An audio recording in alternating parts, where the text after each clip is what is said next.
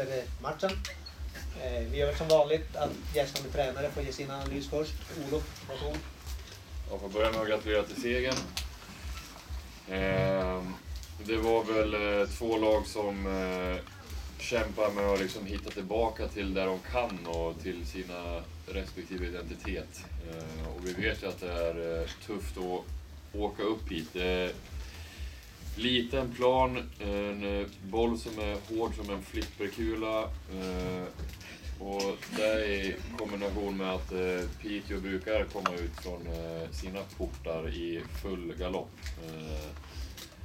Så vi behöver ju liksom rida ut den stormen som är i början, vilket jag tycker vi lyckas upp och ner med. Ibland löser vi deras första press, men då är vi tyvärr lite för slarviga i passningsspelet efter det där, eller att vi håller i den någon millisekund eller halvsekund för länge. Så vi fick inte riktigt träff i, i anfallsspelet i första. Ehm. Men liksom ju längre halvleken går så, så mattas ju pressen från Piteå av något. Ehm, och så får vi putsa på några detaljer i halvtid och tycka att vi kommer ut i, i andra bättre. Ehm. Men sen får vi liksom aldrig riktigt, eh, vi får inte tillräckligt träff eh, konsekvent nog. Vi har några, några möjligheter till att skapa målchans som vi inte lyckas förvalta bättre. Och sen eh, måste jag se målet igen. Det kändes som att det blev eh, otroligt enkelt. Lisa som eh, nickar Edlund i huvudet tror jag. Och sen känns det som att Madde får ta några steg och sen sitter den där. För, förmodligen var det väldigt välplacerat eftersom eh, Emma brukar eh, spika igen på, på det mesta.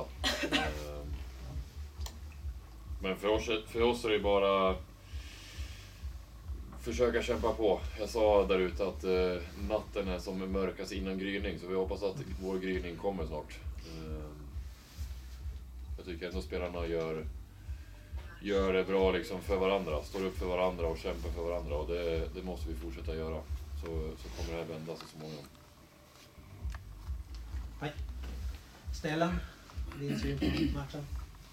Eh, jag tror att det är så här att, jag vet inte, det är spelarna som känner det där mest, men att det är, det är en match i ett väldigt högt tempo egentligen från början till slut. Eh, och jag har ju sett Linköping naturligtvis nu när vi ska möta dem ett antal matcher. Jag tycker de är bra, bra idag, så att det, är ju, det är ju en riktig, riktig batalj och fight eh, där ute. Och, eh, jag tycker spelarna gör det kopiöst bra, jobbar otroligt, otroligt hårt. Och det är små, små detaljer, liksom ett felpass, då är det målchans åt andra hållet ungefär. Lite så för båda lagen. Eh, och, det, och det är hela tiden en, en påkoppling och en fight som pågår liksom från början till slut. Så att, någonstans så, så eh, spelarna verkligen liksom tagit grejerna här inför egentligen eh, när vi skulle spela Champions League-matchen och verkligen gått samman och, och jag tycker de har jobbat otroligt bra, otroligt hårt allihopa på träning och på matchgenomförandet eh, sedan dess. Så att, därför är jag glad. Det är ju en match som är naturligtvis eh, jämn på alla sätt och vis. Men, men eh, otroligt glad för spelarnas skull att vi får gå segrande ur och att det inte är något kryss framförallt. Ska vi släppa frågorna fria här? Så spelarna får ta frågorna slipper de sitta och analysera. Olof, liten plan.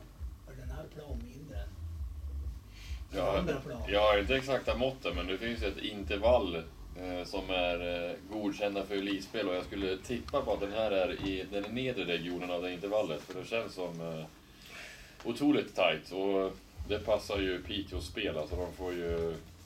Det liksom skapas många situationer eh, av eh, de eh, raka uppspelen liksom, så... Men eh, jag får väl gå ut med måttbandet och återkomma. Du har ju en, en plan där uppe som är i den övre intervallen. Lite ovanför. Och lite till. Okej, ja, får göra det. Landskampsplan. Ja. Eh, och du, eh, ni var ju på samma poäng. Det lag som vann kan ju ha med medaljsida att göra. Röker han chans idag?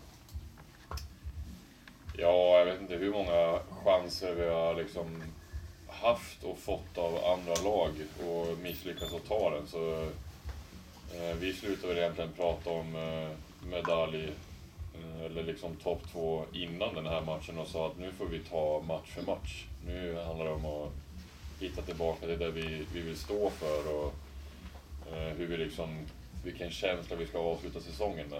Eh, så det är klart att den chansen fanns idag men eh, jag vet inte hur många tåg som har passerat perrongen utan att vi har liksom hoppat på det. Så eh, Det lägger vi inte så mycket fokus vid, utan vi får ta match för match och försöka få en så bra avslutning som möjligt på säsongen. Vad säger du om det istället? Funderar du nog på medaljer, bara själv och så?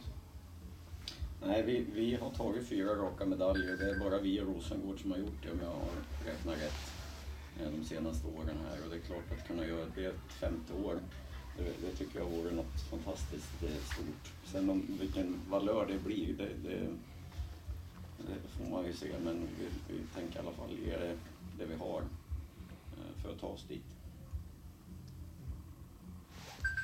Madde, vad heter när, när du sköt där? Mm. Sitter du, satt ju bra i burgaveln. Eh, ja, alltså jag har ju pratat om att liksom skjuta alltså, lågt. Eh, och jag tycker att jag fick till det väldigt bra.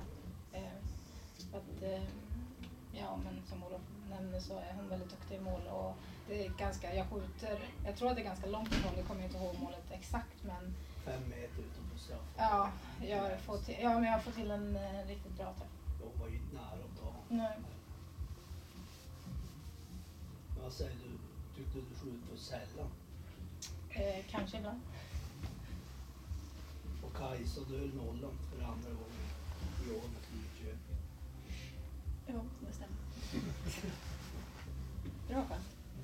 Ja, inte specifikt att vara mot Linköping. Det var skönt att hålla nollan. Det var ett tag sedan sist. Känslan var två minuter kvar och Blackstenius kom på höger kant. Man hinner inte känna efter så mycket. Det är så mycket in i nuet och ja, försöka göra det bästa av situationen. Så det vet jag faktiskt inte.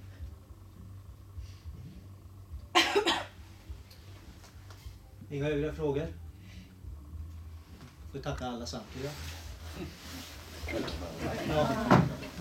Fan vad viktigt att jobba här alltså.